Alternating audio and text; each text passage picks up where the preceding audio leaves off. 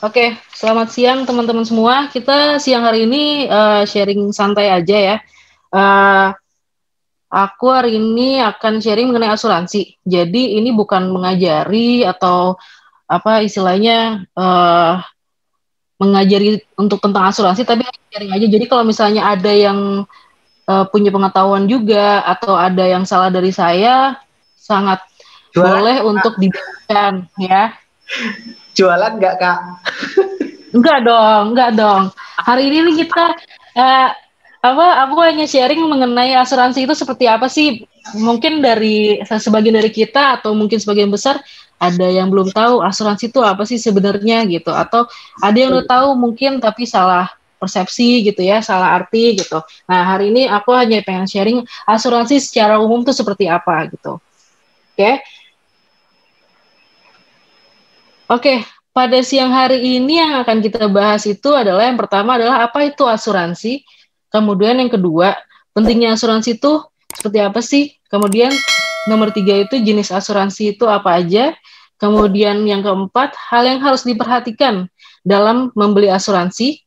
Dan yang kelima, ada tiga level asuransi dan pengecualian klaim. Nah, semuanya akan aku sharing ke kalian semua supaya ini jadi pengetahuan kita sama-sama ya.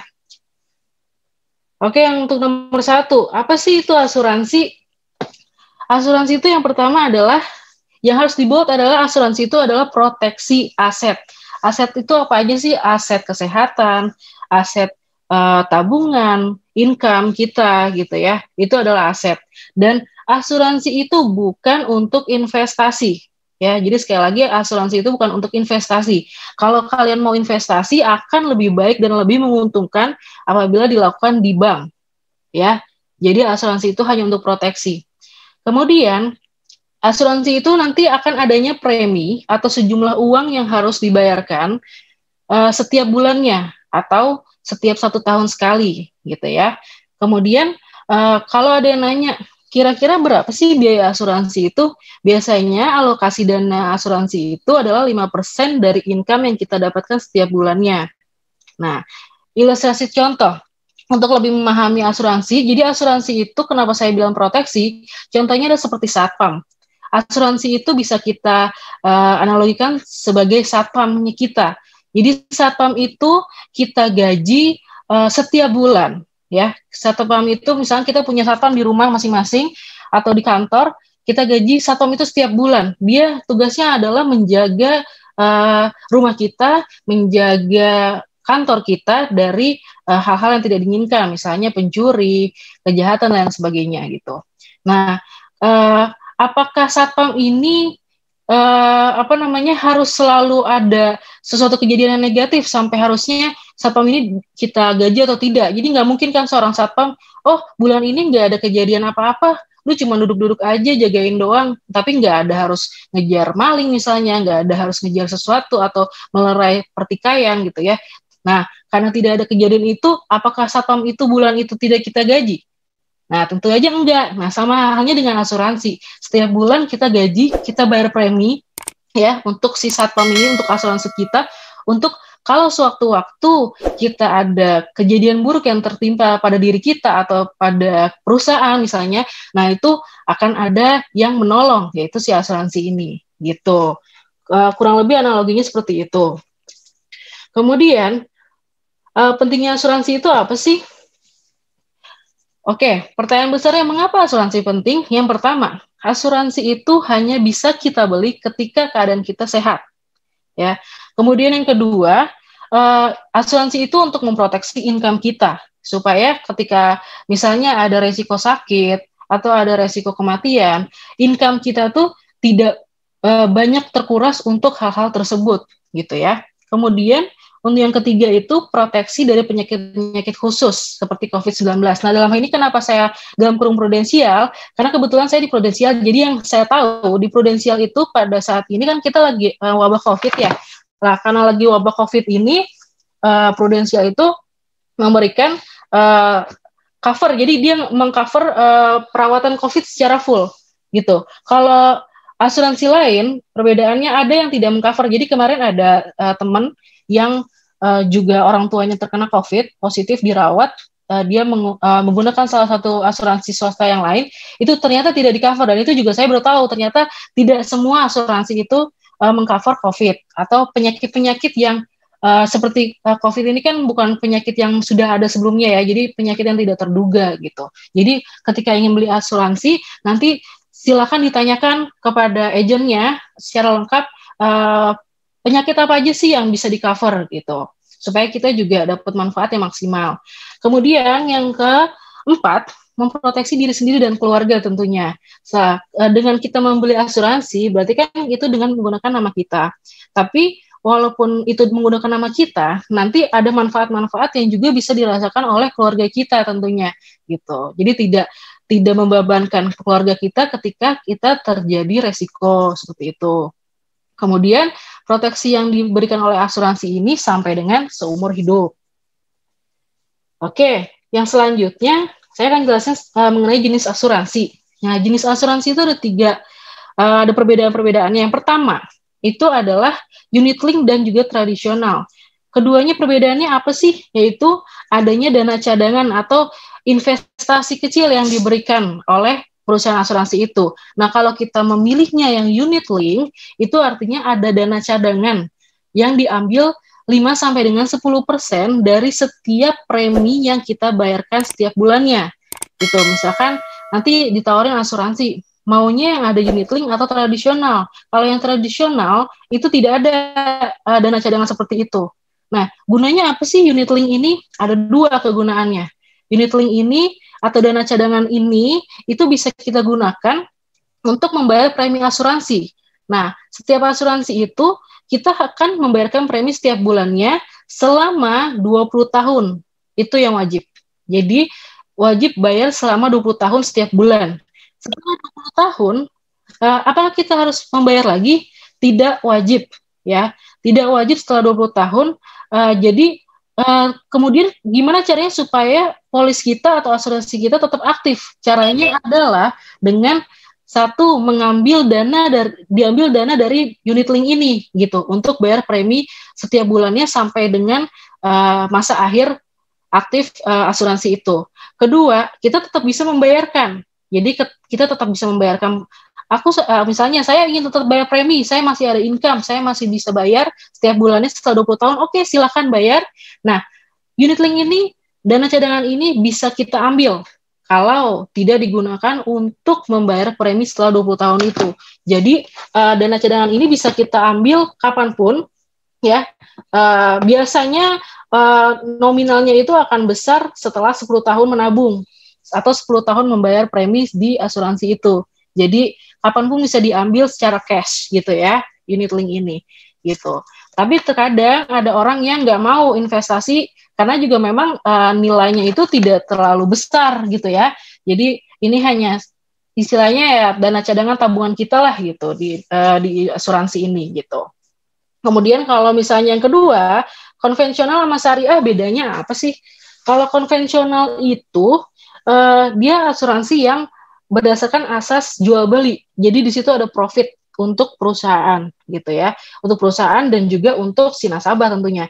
Nah, kemudian yang syariah itu apa sih? Nah, bedanya kalau syariah itu khususnya untuk uh, yang beragama Islam itu berdasarkan akad tolong menolong. Jadi di situ nanti akan dana premi yang dibayarkan setiap bulan itu akan dibagi kedua uh, istilah dua rekening gitu ya. Jadi ada yang namanya dana tabaru dan juga dana ujrah. Dana tabaru itu apa? Dana tabaru itu adalah dana yang nanti akan dikumpulkan dalam satu rekening yang nantinya akan digunakan untuk menolong menolong orang lain yang juga uh, nasabah asuransi itu ketika mereka menghadapi suatu kesulitan, misalnya sakit atau meninggal dunia, nah diambil dari situ. Nah kemudian untuk ujrah itu apa sih? Nah, ujrah itu adalah upah yang akan diberikan kepada si perusahaan asuransi sebagai uh, upahnya uh, selama ini untuk mengalokasikan dana tabaru itu. Jadi untuk mengelola dana tabaru dia diberikan gaji lah, diberikan upah gitu, sesuai dengan syariat Islam itu. Jadi uh, kalau misalnya ada yang bilang asuransi itu uh, haram nggak sih gitu. Nah, ternyata memang sudah dijelaskan bahwa asuransi itu tidak haram dan sudah dijelaskan oleh MUI dan sudah ada sertifikasinya bahwa asuransi itu tidak haram. Dan kalau mau lebih aman, apabila ada uh, orang-orang yang agama, beragama Islam ingin membeli asuransi, bisa juga dengan produk yang syariah ini gitu. Kemudian yang ketiga itu ada pribadi dan juga korporat. Ya kalau pribadi yaitu seperti ini uh, asuransi yang kita beli sendiri secara pribadi, jadi pakai income kita, menggunakan income kita. Nah, kemudian bedanya sama korporat, kalau korporat itu asuransi yang dimiliki oleh perusahaan di mana tempat kita bekerja.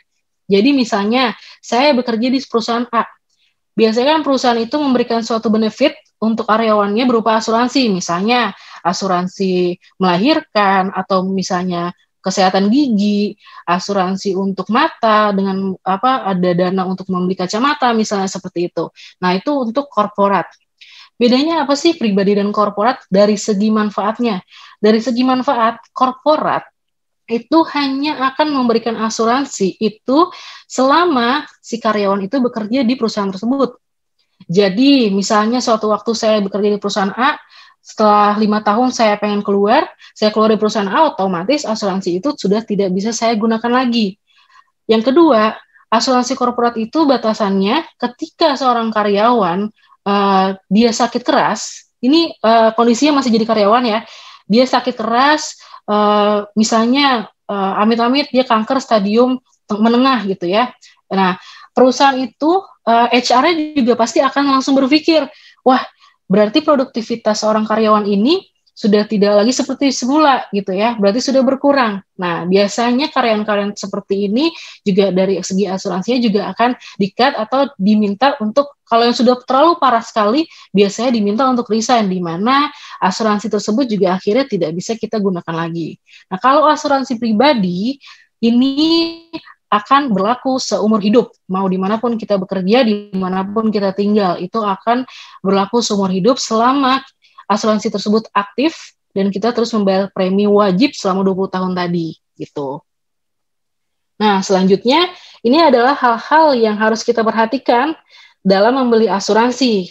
Nah, oke, okay, yang pertama, kesehatan. Yang tadi sudah saya jelaskan bahwa orang yang sudah sakit saja akan sulit untuk mendapatkan atau membeli asuransi. Sulit itu berarti masih ada kemungkinan bisa dapat, bisa beli, ada juga kemungkinan kemungkinan tidak bisa beli sama sekali. Yang bisa beli adalah apabila dia sakit. Uh, nanti kan ketika kita mendaftar asuransi itu selain kita memberikan data-data kita, walaupun kita istilahnya income kita bagus, kita ada dana untuk membeli asuransi, tapi ketika kita diminta data kesehatan, pihak asuransi akan uh, meneliti tersebut. Jadi di, di, dilihat apakah kesehatannya ini sudah parah atau uh, sud, uh, masih sehat, betul gitu ya. Jadi kalau misalnya ada satu penyakit, biasanya akan ditanya uh, selama satu sampai lima tahun belakangan ada penyakit apa gitu ya. Kemudian pernah dirawat atau tidak gitu. Nah, nah akan lebih baik kalau kita menjawab secara jujur ya karena kalaupun tidak jujur itu akan ketahuan karena ada orang-orang yang akan melihat hal itu semua gitu ya. Jadi ketika kita ada yang sakit nggak apa-apa, kita tetap ajukan dengan kondisi kita apa adanya kita beritahukan. Nanti uh, pihak uh, perusahaan asuransi tersebut akan melihat perlu nggak orang ini untuk uh, medical check up gitu ya. Medical check up biasanya dengan medical check up kalau hasil medical check upnya bagus, biasanya tetap bisa untuk membeli asuransi. Tapi kalau medical check up-nya tidak bagus, biasanya tidak diperbolehkan untuk jadi dia tidak bisa beli gitu ya. Jadi ada pertimbangan tersebut. Kemudian yang kedua adalah waktu. Nah, waktu ini ada usia daftar. Kapan sih kita bisa daftar asuransi?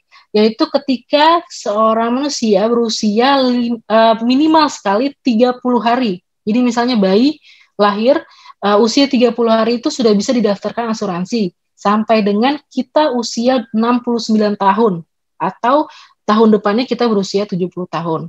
Itu untuk usia daftar. Kemudian usia perlindungan itu bisa sampai dengan usia 90 9 tahun. Jadi panjang sekali.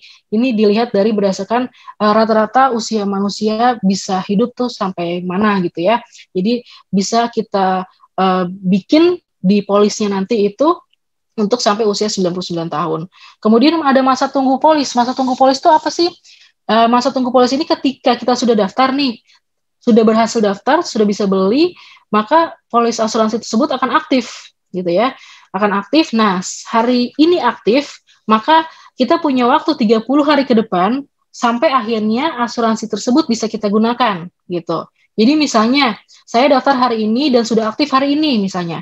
Nah, ketika saya uh, hari ke-31 sejak polisi itu aktif, tiba-tiba saya sakit. Nah, maka kartu atau asuransi tersebut bisa kita gunakan untuk diklaim gitu. Nah, sebelum 30 hari itu belum bisa digunakan. Nah, masa tunggu ini uh, berbeda-beda juga. Eh, uh, 30 hari untuk semua penyakit kecuali 90 hari masa tunggu untuk penyakit kanker dan juga 120 hari untuk beberapa penyakit tertentu gitu ya. Kemudian ada juga 12 bulan ya untuk beberapa penyakit tertentu yang nanti akan saya jelaskan. Nah, selanjutnya wilayah perlindungan perlindungan dan juga list rumah sakit. Nah, ini penting nih untuk kita perhatikan. Maksudnya wilayah perlindungan itu apa sih? Nah, jadi di setiap perusahaan asuransi itu nantinya untuk asuransi kesehatan itu biasanya uh, akan ada plan-plan yang diberikan jadi wilayah perlindungan yang ditawarkan itu misalnya di Indonesia saja atau di Asia Tenggara atau di seluruh Asia atau bahkan di seluruh dunia. Nah, jadi misalnya ya uh, saya bikin asuransi plan di uh, seluruh Asia. Nah, suatu hari saya jalan-jalan ke Singapura nih. Nah, di Singapura tiba-tiba saya jatuh sakit di mana saya harus dirawat di rumah sakit di Singapura. Nah, kalau saya pilih plan yang Asia, berarti kan otomatis Singapura itu masuk ke dalam wilayah Asia. Nah, berarti ketika saya dirawat di Singapura, uh, saya bisa klaim full uh, untuk asuransinya gitu. Jadi saya nggak perlu bayar biaya tambahan lagi gitu, karena saya uh, Singapura itu masuk ke dalam Asia. Beda ketika saya bikin wilayah perlindungannya hanya di Indonesia, dan ketika saya pergi ke Singapura, saya sakit di Singapura, dirawat di Singapura. Nah, itu berarti kan berarti di luar wilayah Indonesia tuh ya. Nah, artinya itu nanti akan ada perhitungannya lagi tuh. Berapa pers berapa puluh persen yang akan diklaim, berapa puluh persen yang harus dibayar secara mandiri. Tetap akan di cover, tapi hanya beberapa puluh persen saja gitu ya. Oke, selanjutnya list rumah sakit. List rumah sakit ini juga perlu kita perhatikan kenapa? Karena eh, kadang-kadang uh, ada orang beli asuransi ketika dia sakit uh, dia main masuk ke rumah sakit mana aja yang ada di terdekat dia tanpa dia tahu itu cover atau tidak asuransinya gitu. Jadi kita perlu tahu list rumah sakit mana aja sih yang bisa mengcover uh, asuransi kita gitu ya apa, apa namanya rawat jalan atau rawat inap kita gitu. Nah, kita mesti lihat di situ pasti akan nanti diberikan listnya oleh agentnya ketika uh, asuransi kita sudah aktif dikasih list rumah sakitnya di rumah sakit mana saja gitu. Terus yang terakhir ada manfaat produk dan ketentuan klaim. Nah, manfaat produk ini kenapa perlu diperhatikan? Karena tidak semua agent itu proaktif. Tidak semua agent itu memberikan segala sesuatunya dengan secara transparan. Ketika kita mendapatkan agent yang uh, tidak sesuai dengan memang seharusnya tugas agent tersebut, maka kita juga bisa uh, mengklaim semua manfaat-manfaat produk tersebut. Jadi kita nggak akan, istilahnya nggak akan ketinggalan, nggak akan kecolongan. Kalau harusnya saya dapat ini nih, tapi kok saya nggak bisa gitu. Nah itu juga harus diperhatikan dan juga ketentuan klaim gitu. Jadi di situ di polis, polis itu ya untuk yang belum tahu namanya polis asuransi itu adalah di situ ada prasyarat atau ketentuan-ketentuan uh, klaim gitu ya, ketentuan pemegang polis asuransi itu. Jadi kalau kita udah punya asuransi akan akan sangat baik kalau kita perhatikan tuh ketentuan klaimnya seperti apa. Jadi ketika kita klaim tidak ada kesalahan. Karena yang perlu diperhatikan adalah satu saja kesalahan dilakukan, maka klaim tidak bisa untuk dilakukan gitu. Misalnya ketika kita dirawat uh, harusnya misalnya di rumah sakit A, kita pergi ke rumah sakit B yang rumah sakit B ini tidak klaim asuransi kita, maka kita nggak bisa klaim. Jadi kita harus bayar sendiri. Asuransi nggak bisa klaim biayanya gitu. Atau misalnya ada proses-proses yang kita ter, uh, terlewati, ter, terskip lah gitu, nggak dilakukan. Nah, misalnya nih ya ada stroke, stroke pembayaran rumah sakit. Itu kalau misalnya kita mau klaim, ya kita mau klaim secara cash nanti setelah kita dapat stroke kita bayar sendiri kita mau klaim. Kalau stroke itu nggak ada, nah, itu tidak akan bisa klaim. Mau uh, gimana pun cara tidak akan bisa klaim gitu. Jadi harus ada struk aslinya untuk klaim ke asuransi. Nah, itu hal-hal kecil yang perlu diperhatikan yang harus kita sadari betul supaya tidak ada uh, banyak banyak banget berita-berita uh, masuk koran atau masuk media uh, asuransi A tidak bisa uh, tidak mencairkan klaim saya dalam sekian puluh juta misalnya kayak gitu ya. Dia langsung masukin media padahal itu kesalahan si nasabah sendiri kesalahan dia sendiri bahwa dia tidak uh, mengikuti uh, aturan yang udah dibuat di dalam polisnya gitu. Jadi perlu, perlu diperhatikan lebih lanjut. Nah selanjutnya ini ada tiga level asuransi yang untuk uh, kita saat ini nih perlu untuk kita miliki ya. Kemudian ada uh, pengecualian klaim yang akan saya jelaskan nanti. Nah, untuk tiga level asuransi. Yang pertama, yang paling dasar yang harus kita miliki adalah asuransi kesehatan atau asuransi rumah sakit. Nah, mau di asuransi, perusahaan asuransi mana pun ini akan sama. Jadi ini asuransi kesehatan atau rumah sakit ini yang akan mengklaim semua biaya rumah sakit, ya. Cuman uh, ada beberapa perbedaan ada as, perusahaan asuransi yang mengklaim seluruh seluruh biaya rumah sakit.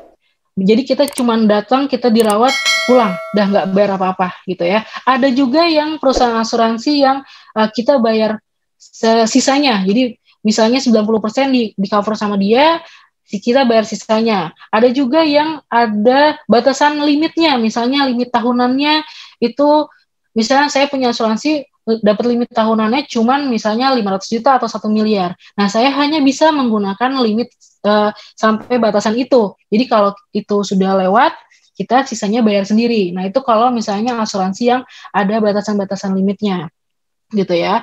Nah, kemudian ada juga yang tidak ada batasan limitnya. Jadi batasannya itu sangat tinggi yang di mana jarang sekali orang sampai dengan batasan itu. Jadi uh, itu bisa diklaim secara full gitu ya.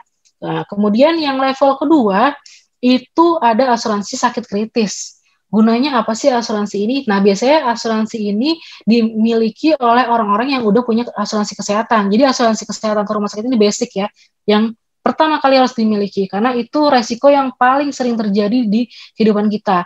Nah, yang kedua asuransi sakit kritis ini uh, kalau kita uh, saya bicara konteks prudensial, saya nggak tahu di asuransi lain ini uh, aturan seperti apa, tapi kalau di prudensial ini, ketika kita tiba-tiba mengalami sakit kritis, misalnya amit-amit kanker, ya kanker, uh, kalau prudensial dia bisa mengeluarkan sejumlah dana ketika kita mengalami sakit kanker itu. Jadi misalkan suatu hari tiba-tiba mengidap kanker, uh, minimal stadiumnya itu adalah stadium 1B kalau untuk prudensial. 1B itu dana sudah bisa cair gitu. Jadi bisa di, uh, dicairkan sejumlah dana yang sudah uh, kita sepakati di awal kita membeli asuransi ini gitu untuk membantu uh, biaya rumah sakit dan lain sebagainya. Kenapa sih uh, apa sih fungsinya? Nah, selain untuk biaya rumah sakit, kalau orang sakit kritis itu kan biasanya sudah tidak produktif ya, sudah bisa tidak sudah tidak bisa bekerja, sudah tidak bisa ada penghasilan otomatis. Jadi uh, uang yang didapatkan ya dari asuransi ini yang bisa kita cairkan gitu untuk kebutuhan kita dan juga keluarga gitu. Ya. Kemudian yang terakhir ini adalah asuransi jiwa. Nah, kalau asuransi jiwa dari namanya aja adalah asuransi jiwa, berarti ini akan uh, mengeluarkan sejumlah uang yang sudah disepakati di awal ya yaitu berupa uang pertanggungan yang akan keluar ketika si pemilik nas uh, pemilik asuransi ini atau pemilik polis ini meninggal dunia.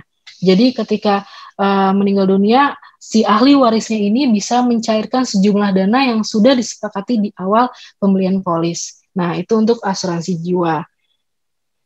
Terus selanjutnya, nah ini ini di semua perusahaan asuransi berlaku ya. Jadi ini adalah penyakit-penyakit tertentu yang tadi saya bilang yang akan dikecualikan dalam 12 bulan pertama sejak polis aktif. Jadi dalam mas jangka waktu 12 bulan pertama ini ketika uh, deretan penyakit ini muncul di dalam 12 bulan ini uh, di dalam 12 pertama bulan pertama ini muncul, kita tidak bisa klaim gitu.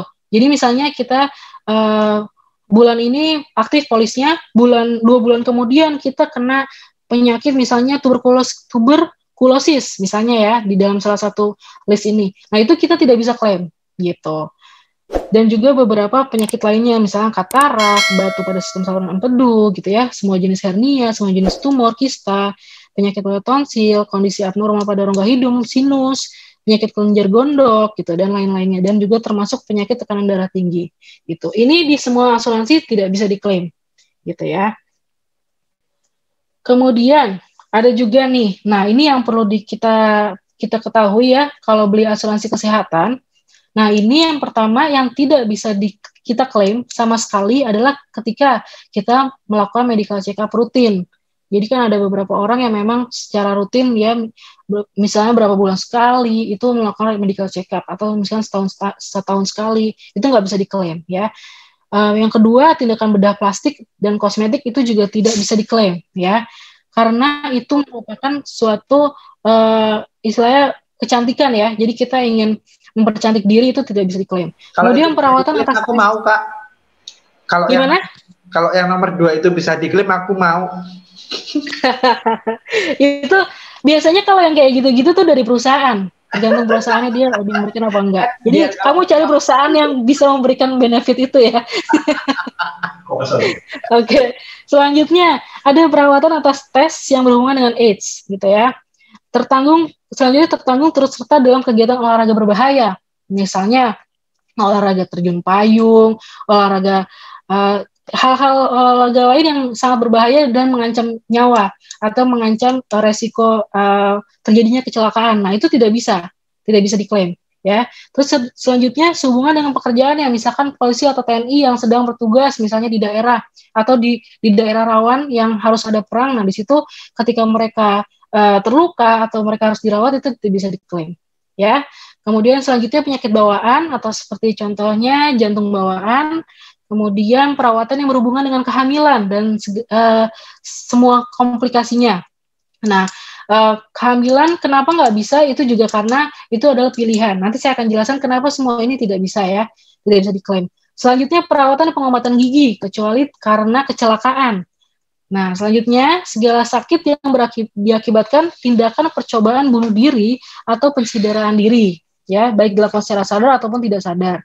Yang terakhir adalah segala sakit akibat perang, demo, pemberontakan, dan lain-lain yang adalah kegiatan sejenis gitu. Kenapa kok nggak bisa sih diklaim? Nah, karena uh, semua list ini adalah eh, tindakan-tindakan uh, yang secara sengaja kita lakukan gitu ya. Secara sengaja kita lakukan kita pengen medikal karena bukan karena ada penyakit apa pun kita pengen medikal aja ngecek kesehatan. Nah itu kan karena secara sengaja kita ingin lakukan.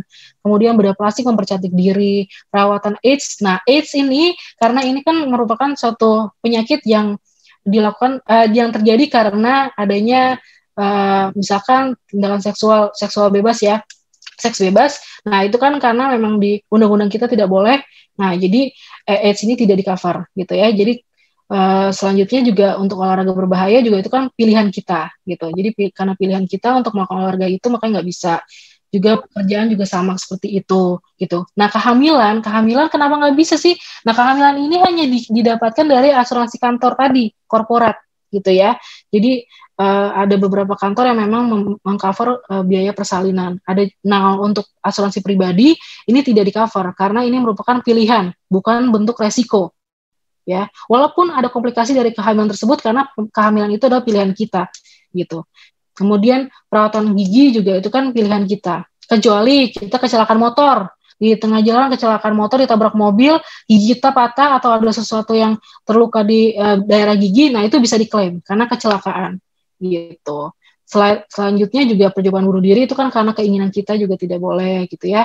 Perang juga demo itu kan sesuatu yang dilarang uh, huru hara yang sampai menyakiti orang lain sampai adanya uh, yang kecelakaan segala macam itu tidak boleh gitu makanya ini tidak bisa diklaim seperti itu Oke, sampai di sini saja penjelasannya kurang lebih untuk uh, secara umum ya secara general asuransi itu seperti apa. Nah, semoga semuanya bisa memahami lebih dalam sebelum nanti suatu hari di tengah jalan ada agen asuransi yang nyetop misalnya ya kak asuransinya ini misalkan perusahaan A e, mau nawarin asuransi kesehatan atau jiwa atau kritis nah semuanya e, kalian sudah tahu lah kurang lebih apa yang perlu diperhatikan supaya kita juga tidak salah membeli asuransi gitu. Oh, Oke, okay. sampai di sini ada pertanyaan? Ada yang mau nanya nggak? Apa boleh nanya dulu nggak? Boleh, boleh, Di. Bedanya sama asuransi kendaraan, apakah beda, Kak? Kan yang dirawat ini manusia. Kalau asuransi kendaraan yang ya. dirawat, kendaraan gitu. Kurang lebih kalau kendaraan tuh sama di kendaraan itu ada uh, jangka tahunan ya, ada ada tahunan berapa usia kendaraan tertentu yang udah nggak bisa beli gitu. Jadi misalnya uh, udah 10 tahun aku kurang kurang paham juga ya eh, lebih detailnya kalau nggak salah misalnya kendaraan 10 tahun mau beli asuransi itu nggak bisa karena oh, memang tingkat resiko mengalami ya. Iya karena tingkat resiko mengalami kerusakannya kan sudah sangat tinggi gitu jadi uh, nggak ada perusahaan asuransi yang bisa untuk mengcover itu gitu terus kalau kendaraan itu kalau diklaimnya pas kalau dia kecelakaan secara nggak sengaja atau misal dia Ya, kecelakaan tidak sengaja kalau kendaraan. Jadi misalnya ditabrak, nah uh, itu juga nanti akan dihitungnya per kejadian gitu. Jadi uh, kita kan biasanya ya, orang cerita mungkin prosesnya itu yang dulu Gimana? kalian yang dulu kalian pernah mobilnya kena. Ya, oh dulu uh, mobil pernah ditabrak ya, pernah ditabrak uh, truk gitu ya.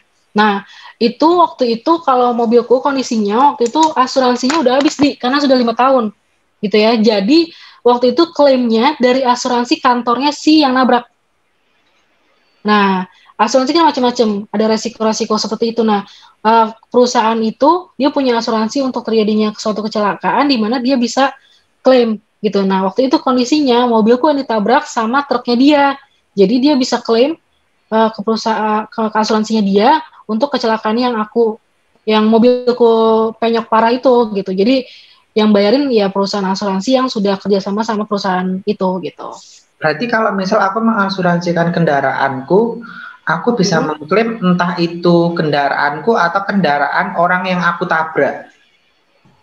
Iya, jadi uh, enggak, ini ada dua beda. Pro, uh, untuk uh, kendaraan sendiri itu beda asuransi, kalau untuk yang kendaraan yang ditabrak tadi itu beda lagi perusahaan asuransinya. Jadi memang khusus untuk uh, misalnya ada perusahaan uh, apa ya yang punya pabrik-pabrik biasanya harus mengangkut bahan-bahan uh, menggunakan truk yang resikonya di situ terjadi kecelakaan ataukah mencelakai orang lain. Nah dia bisa oh, bisa oh, iya, klaim iya. itu. Jadi dua dua perusahaan yang berbeda. Jadi kalau asuransi yang nggak perlu nggak perlu pakai asuransi yang aku nabrak terus aku klaim itu ya asuransinya yang buat iya. kendaraanku sebagai korban aja kan betul betul jadi kalau waktu itu kondisinya mobilku masih punya asuransi gitu ya belum lima tahun nah itu masih bisa diklaim mm-hmm. gitu untuk aku sendiri. Makanya biasanya kalau nabrak tuh orang yang nabrak tuh biasanya langsung aja udah saya bayar asuransinya aja masukin asuransi. Kan bayarnya murah tuh jadinya cuma berapa ratus ribu. Itu bisa di di istilah diperbaiki sampai mulus lagi gitu. Nah biasanya mereka memanfaatkan itu untuk mobil-mobil yang masih punya asuransi gitu. Oke okay, oke okay, oke. Okay.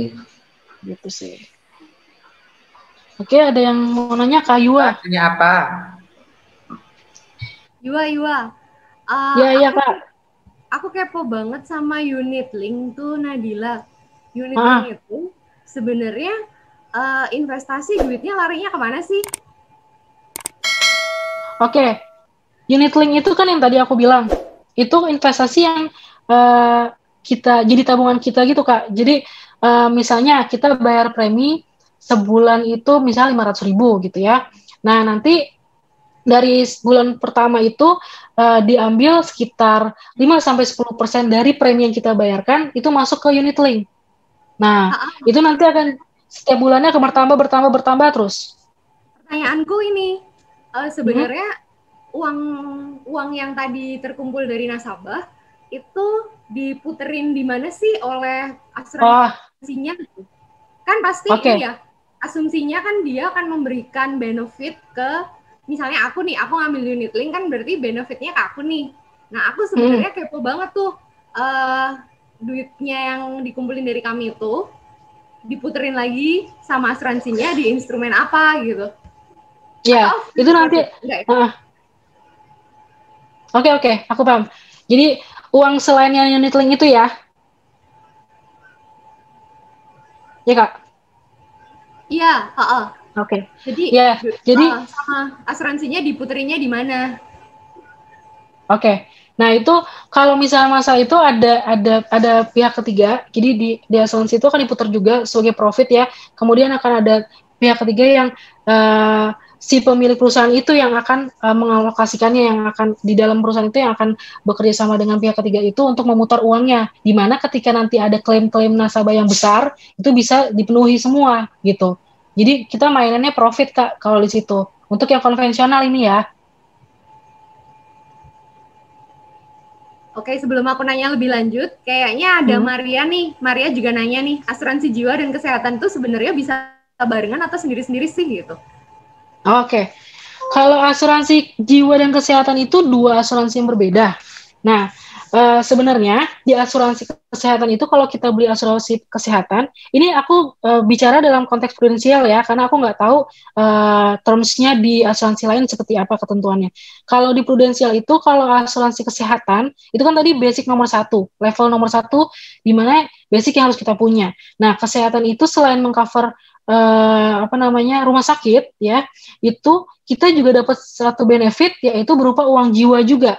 Tapi tidak sebesar si asuransi jiwa gitu. Misalnya di uh, asuransi kesehatan itu kita dapat 20 juta uang jiwa. Jadi kalau misalnya kita kita meninggal dunia, kita dapat hanya 20 juta uang jiwanya gitu. Tapi kalau di asuransi jiwa itu bisa sampai miliar-miliaran gitu. Tergantung kita maunya asuransi jiwa kita berapa miliar. Nah, untuk asuransi jiwa ini sendiri ada hitungannya. Kalau misalnya mau kamu pelajari, uh, siapa Maria, ini ada hitungannya. Gimana caranya saya bisa tahu berapa sih seberapa banyak uang jiwa atau asuransi jiwa yang saya perlukan ketika saya meninggal dunia gitu ya supaya keluarga saya bisa cairin uang tersebut gitu. Nah itu biasanya dilihat dari uh, apa namanya pengeluaran ya biaya kehidup biaya hidup per bulan kemudian dikalikan sejumlah orang yang ada di rumah itu gitu. Uh, kemudian dikali, dikalikan 12 bulan. Nah, itu nanti yang akan ada hitung-hitungannya sampai akhirnya didapatkan sekian M uang jiwa yang saya perlukan gitu. Nanti dihitung-hitung berapa premi per bulannya yang harus kita bayarkan gitu. Jadi kalau uang jiwa sama sama kesehatan itu dua hal yang berbeda gitu. Berarti bisa diambil sendiri-sendiri ataupun bisa. bisa diambil paket sesuai dengan bisa. ini ya, agent asuransinya masing-masing ya? Iya, agent asuransi biasanya akan nanya, kamu udah punya asuransi belum? Gitu. Kalau bilang belum, biasanya akan ditawarkan pertama kali adalah kesehatan. Asuransi jiwa itu yang yang ditawarkan biasanya orang-orang yang sudah punya asuransi kesehatan atau asuransi kesehatannya sudah di cover kantor. Misalnya saya udah punya dari kantor, udah di cover full. Kalau saya dirawat udah di cover full, jadi saya nggak perlu lagi asuransi kesehatan. Nah biasanya baru akan ditawarkan asuransi sakit kritis dulu, baru jiwa. Jiwa itu terakhir biasanya atau untuk orang-orang yang sudah istilahnya sudah sudah settle, sudah uh, usianya sudah menengah gitu ya. Nah, itu biasa ditawarkan jiwa gitu. Aku masih kepo terkait unit link tadi ya. Aku masih lanjut di situ. Jadi kadang kan gini nih, yang aku pernah lihat itu kayak unit link itu ada tabel khususnya, terus dia bilang yeah. Ya. uh, disclaimer gitu. Jadi misalnya nih unit link uh, persentase yang akan diterima investasinya 20% misalnya nih ya, let's say 50% yeah. ya. Terus okay. uh, eh, habis itu itu tidak bisa jadi patokan saat kita nanti di akhir ambil. Karena itu bergantung sekali dengan fluktuasi dan macam-macam. Nah, aku yes. tuh kepo-nya adalah sebenarnya apa sih faktor-faktor yang menentukan bagian itu gitu. Oke. Okay. Untuk fluktuasi itu saham Kak. Jadi kalau misalnya uh, nanti nilai sahamnya naik atau turun, itu yang akan menyebabkan kan di situ kalau kita aku nggak bisa share tabel sih. Kalau ada di tabelnya nanti ya biasanya unit link itu ada yang 5% sama yang 10% kalau nggak salah. Gitu ya. Jadi itu uh, bunga yang akan kita dapatkan gitu pada nantinya gitu ya. Nah, nominalnya itu di situ hanya kira-kira. Nah, kenapa kira-kira? Karena kan kita nggak tahu pada saat kita nanti ngambil cash-nya itu, cash out, itu uh, sahamnya lagi gimana. Uh, secara secara nasional secara, secara dunia itu sahamnya lagi gimana? Lagi naik atau lagi turun? Jadi biasanya ada juga yang paling kecil tuh tiga persen. Jadi tiga lima sepuluh kalau nggak salah. tiga lima sepuluh nah itu yang biasanya di, diberikan adalah yang tiga persen itu kak uh, uh, kalau akun jelasin ke nasabahnya dari yang paling kecil sama yang tengah aja. Yang yang paling tingginya aku lewatin. Jadi kayak nggak usah dibahas. Jadi tiga sama lima ini yang biasanya uh, akan bisa kita janjikan kepada nasabah gitu. Akan bisa keluar sejumlah dana tersebut gitu kurang lebih. Oh oke. Okay. berarti memang larinya salah satunya ke saham juga ya iya ke ke ya saat itu nilai rupiahnya lagi seberapa gitu karena itu tadi kenapa aku bilang ini tidak cocok untuk investasi, ya karena itu. Gitu. Okay, okay. Karena secara nilainya okay. juga tidak besar, jadi dan tergantung uh, rupiah saat itu juga lagi di atas atau lagi turun gitu. Oke, okay. kalau yang uang jiwa yang dari asuransi kesehatan itu, itu memang sudah sesuai dari patokan si polis asuransinya atau memang sesuai dengan premi terakhir yang kita bayarkan misalnya seperti itu? Okay. Atau gimana? Nah, mm -mm. kalau untuk uang jiwa yang dari kesehatan itu, ini aku uh, untuk sebagai notes, aku bicara dari termsnya prudensial ya. Jadi aku nggak tahu nih kalau asuransi lain dia uh, memberikan uang jiwa itu juga atau tidak di asuransi kesehatan. Nah kalau di prudensial, uh, dia di di awal kita mau tanda tangan polis persetujuan itu sudah ditaruh se sejumlah nominal. Jadi kita udah dihitung-hitung, oke, okay, saya ingin kartu misalnya ya, saya ingin kartu rumah sakit yang cover full di seluruh dunia bisa dipakainya, misalnya seperti itu. Oke, kamu inginnya rumah sakit cover full seluruh dunia, kamarnya misalnya kamar VIP. Oke, kamar VIP di cover full. Sekian ya preminya, misalnya preminya satu setengah juta, misalnya. Oke, premi yang harus kamu bayarkan satu setengah juta per bulan. Nah, nanti di bawahnya itu ada tulisan tuh manfaat yang didapatkan apa aja, dan paling bawah itu ada tulisan uh, ketika si pemilik polis meninggal dunia, maka akan uh, uang unit link tadi bisa dicairkan dan juga uang uh, jiwanya di, istilahnya santunannya uang jiwanya yang di, bisa dicairkan adalah sekian juta di mana itu ada 20 juta atau 25 juta maksimal gitu. Oke, okay, oke, okay, oke, okay. thank you.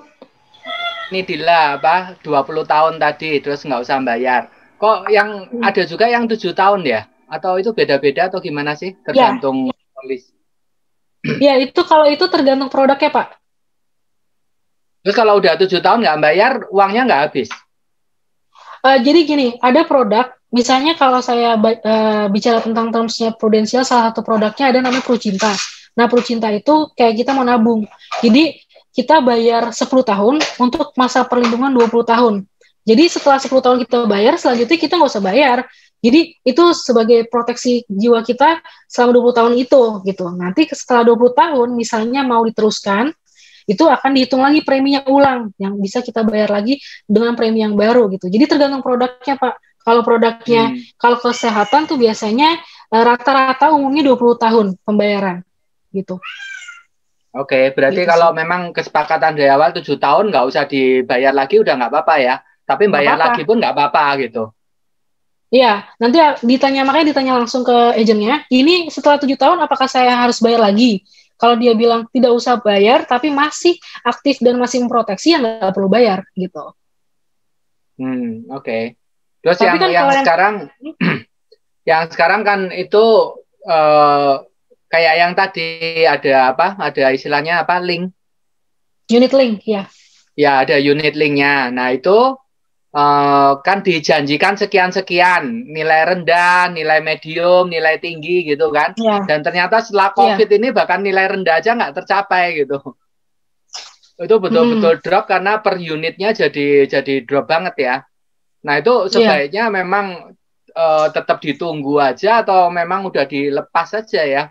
Karena terus jadi apa? uh, ya memang drop banget sih, nggak nggak sebanding dengan biaya yang dibayar premi bulanan jadinya kayaknya. Ya, kalau misalnya kita sudah dalam uh, masa 20 tahun, seandainya masih aktif dan misalnya kita mau ngambil tapi sekarang nilainya lagi turun ya Pak ya. Nah, uh, lebih baik didiamin aja Pak, karena itu kan untuk proteksi proteksi kita selama sampai usia perlindungan akhir di polis itu misalnya kita bikin sampai 85 tahun. Nah, itu biarin aja sampai akhirnya nanti naik turun sendiri gitu. Nanti ketika dirasa sudah cukup, itu bisa kita tarik gitu misalnya. Kalau karena kalau, kalau ini kalau ini kan dia apa uh, asuransi kesehatan lalu ada unit linknya kan. Mm-hmm. Nah, asuransi kesehatan ini masih berjalan 10 tahun sih, tapi kan tiap tiap bulan bayar ya, tiap bulan bayar iya. satu yeah. juta satu juta gitu. Nah, Betul. itu uh, sebaiknya ganti aja ke asuransi kesehatan yang cuma asuransi kesehatan, terus unit linknya diambil atau dibiarin aja udah bayar kayak biasa, nunggu sampai nanti akan pulih lagi. Toh sebetulnya jumlah unit linknya bertambah ya, cuma gara-gara harga setiap unitnya drop, jadi secara kumulatif uangnya jadi kelihatan drop gitu kan ya sebetulnya ya. Iya. Jumlah ya, unit linknya kan bertambah terus kan itu. Iya betul betul pak. Cuman hanya nilainya aja yang berkurang gitu. Kalau jumlahnya sih bertambah terus.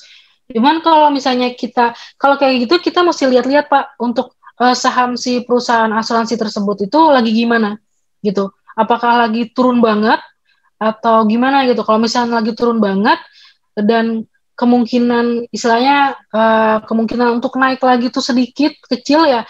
Kalau saya sarankan sih ambil aja ambil aja kemudian dipindahkan ke uh, misalnya bapak mau ngambil kesehatan aja gitu atau misalnya diambil kesehatan aja di perusahaan uh, asuransi lain gitu yang mungkin lebih nilai sahamnya lebih lebih stabil gitu seperti itu sih. Jadi kalau belum selesai 20 tahun diambil di tengah jalan itu sebenarnya diizinkan ya. Terus ganti diizinkan. ganti hmm. produk lain itu sebenarnya bisa diizinkan.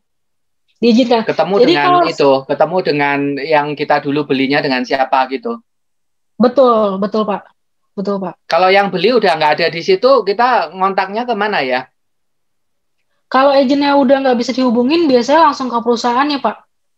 Oh. Ke pusat gitu. Nah, itu juga okay. pentingnya uh, kita membangun hubungan dengan agent karena sebetulnya tugas agent itu nggak hanya pada awal kita kita jualan misalnya uh, nasabah udah beli udah stop enggak agent tuh seumur hidup Pak. Itu tugas sebetulnya seumur hidup. Jadi misalnya si nasabah kan asuransi sakit, keluar masuk ya. Iya. Jadi kemungkinan iya. dia di situ nggak mencapai target gitu, terus dia sudah out gitu, udah nggak tahu ke mana. Terus orang yang oh, di situ iya. ditanyai juga udah nggak tahu gitu, tapi ya kita harus memang ke pusat sih. Tak pikir iya. kan di situ Kalau ada polisi. apa? Di polisnya ada ada nomor-nomor pusat ya, harusnya ya memang minta uh, komunikasi ke pusat lagi. Betul, betul Pak. Jadi kalau kalau kasusnya seperti itu, agennya sudah menghilang entah ke mana, ya mau nggak mau ke pusat itu tadi. Kenapa saya di highlight ke dalam hal-hal yang hmm. penting kita perhatikan untuk ketika kita beli polis. Jadi ketika ada kondisi agent nggak bisa dihubungin, kita nggak tahu menau. Kalau kita nggak tahu isi polisnya itu, kita akan kebingungan dan mungkin kita kan kita nggak mau seuzon ya. Cuman kan ini uh, kita mencegah eh, hal-hal uh, yang merugikan gitu untuk diri kita terjadi gitu pak makanya yang tadi ya. hal-hal yang harus diperhatikan itu harus kita betul-betul tahu seperti misalnya manfaatnya itu seperti apa gitu ya polisnya klaimnya hmm. gimana gitu jadi kalau agent nggak ada kita nggak masalah gitu tiap tiap bulan sih tetap dapat report dari email. Ya, Cuma kan pasti. terus agentnya udah nggak ada dan kalau kita mau lihat ya mungkin harus baca di polisnya nyari customer service atau gimana gitu kali ya. Diskusi ya, di sana sebaiknya gimana gitu. Betul. Ya. Betul. Oke, okay, thank ya. you Dila. Yua silakan sama -sama, nanya lagi. Nah, idealnya nih uh, yang kita alokasikan itu berapa persen sih dari penghasilan untuk asuransi ini Dila? Lima persen kak biasanya. Maksimal lima persen ya dari penghasilan ya?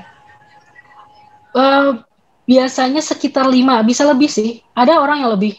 Kemarin itu aku ngomong contoh kasus aja ya contoh-contoh langsung realnya ya. Jadi ada orang yang penghasilan uh, 10 juta. Itu kan kalau lima persennya berarti kan lima ratus ribu ya kak ya? Betul ya? Mm -mm. nah uh, itu dia kemarin ambil premi lebih dari lima ratus ribu gitu. Jadi dia karena dia pengen manfaatnya lebih banyak, misalnya dia pengen yang kelas VIP, VIP terus uh, kamar sendiri, satu tempat tidur, kemudian dia pengen yang berlaku di seluruh dunia, otomatis kan premi lebih mahal, gitu ya. Jadi kalau manfaat lebih banyak itu otomatis premi lebih mahal, juga sesuai dengan usia, Kak. Kenapa aku selalu mengejar-ngejar teman-temanku yang masih 20 20 tahunan, masih sehat? Kenapa aku kejar-kejar? Karena ketika usia sudah semakin tua, maka premi akan semakin mahal. Juga ketika kita ada penyakit, itu premi juga akan semakin mahal gitu. Jadi kenapa aku saran ketika kita sehat dan masih muda itu beli asuransi karena itu gitu. Oke, okay, itu aja. Terima kasih Sip. Dila. Iya, sama-sama Kak. Berarti kesimpulannya asuransi itu akan akan ngecek secara detail orang ini punya riwayat penyakit kayak apa dulu kali ya? Tentu Betul. dong. Tapi kan kita bisa ber oh, ada ada juga yang aku nggak sama sekali nggak dilihat ya, tapi by phone. Iya. Bisa, bisa. Biasanya bisa, yang by phone itu. Misal by phone gitu, misal seandainya gitu orang ini kena penyakit jantung tapi ngomongnya enggak gitu kan?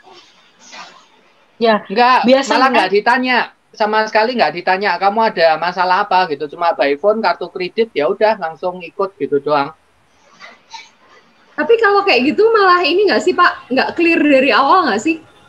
Maksudnya uh, itu akan jadi celah saat misalnya kita mau klaim sesuatu terus kemudian loh kan kemarin ini ini ini begini begini kan itu nggak akan di cover di asuransi ini dugaanku sih Nat dugaanku. Aku bukan agent yeah. ya dugaanku. Yeah. karena ada habis by phone kamu setuju dia motong kredit card lalu dia ngirim polis ya Iya, ada yang seperti itu. tahu bisa kalau kamu nggak setuju bisa dibalikin atau gimana gitu terus jadi batal gitu dikasih waktu dua minggu untuk meriksa polis atau gimana?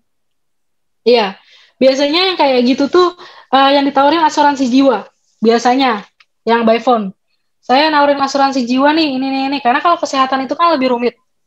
Nah, biasanya kayak gitu asuransi jiwa dan biasanya lagi yang by phone yang secara singkat itu biasanya manfaatnya kita nggak tahu betul yang akhirnya kita nggak sejumlah yang kita harusnya dapatkan gitu Pak. Jadi ada hal-hal yang dia tidak itu tadi yang saya bilang ada agent yang uh, tidak secara transparan memberikan uh, apa yang positif dan apa yang negatif gitu dari produknya gitu. Harusnya kan secara trans transparan diberitahukan gitu. Jadi si calon nasabah ini juga bisa menentukan harus beli yang mana gitu kan. Biasanya kalau yang lewat phone itu yang memang pengen cepet aja, yang memang dikejar deadline, yang emang terikat gitu pak. Ya, memang terikat di kantor. Karena dia ada dia memang itu uh, potong-potong apa bayar di kartu kredit tiap bulan dan itu biasanya kalau kamu nggak punya kartu kredit nggak akan ditawari itu. Iya, betul apa asuransi yang bekerja sama dengan kartu kredit tertentu. Iya, Bang biasanya yang lewat phone call ya, itu. Bang. Ya, uh, terima kasih semuanya. Thank you Dila atas sharingnya. Semoga ini ya kita foto lagi ya. jadi punya pengetahuan tentang asuransi dan manfaatkan ya. semaksimal mungkin untuk melindungi Betul. diri kalian sendiri ya. ya. Thank you for watching our video. Don't forget to like, comment, and subscribe.